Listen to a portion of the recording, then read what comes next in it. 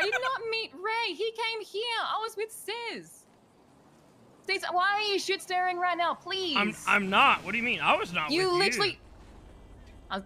motherfucker. We- I was not with you in there. yes, not in there. Yeah, I know. I was not a part of that. Oh my fucking god. Why you you think just, I asked? just tell us what happened? I did. What happened? What do you mean what happened?